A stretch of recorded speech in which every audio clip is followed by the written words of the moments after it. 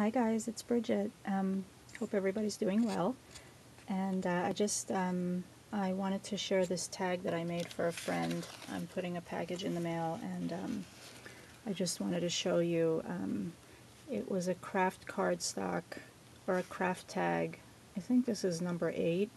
I had bought these before I got the, um, the Tim Holtz die that cuts them.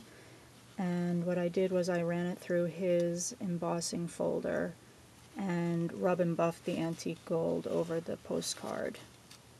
And um, this happens to be trim from the Lost and Found paper from my mind's eye and I just couldn't throw it away so I just fussy cutted all the um, the scallop points out and I added it to the bottom because I didn't have the guts to um, cut my embossing folder so it left a lot of blank space down here and I knew I was going to cover it with flowers anyway, so I glued that down there and I put one of these um, running pearl adhesive rolls that Michaels was selling.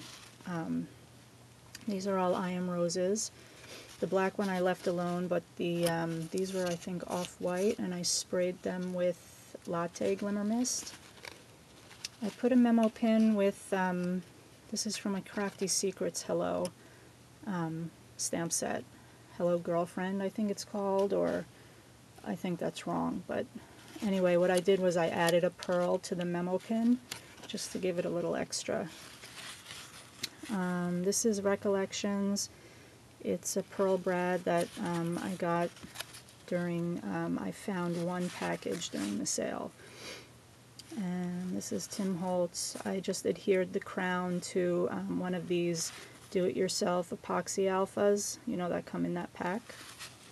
And I added some bronze and gold. These are like my favorite colors, bronze, brown, and the gold.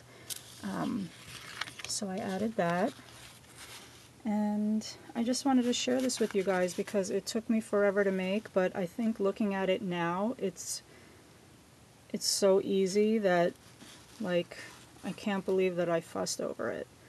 But you know, I'm a perfectionist, so if it's not perfect, it makes me mad.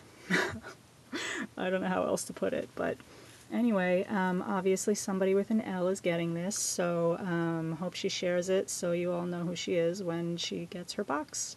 Have a great weekend, guys. Bye.